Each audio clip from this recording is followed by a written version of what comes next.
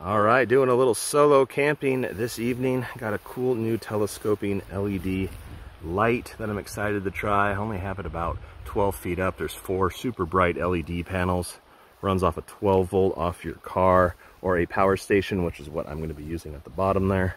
We'll see how well it lights up my camp this evening. All right, also comes with a remote controller to turn it on and off, adjust the brightness, and change different modes. Apparently, if you want to have like a dance party or something, you could turn it on strobe, which might be kind of cool. All right, I'm about 30 feet from camp. We'll turn this on the lowest setting. That is 5%. We'll start going up 5% increments. 5, 10, 15, 20, 25, 30, 35, 40, 45, 50, 55, 60, 65, 70, 75, 80, 85, 90, 95, 100. That sucker is bright. It's having like your own personal street light.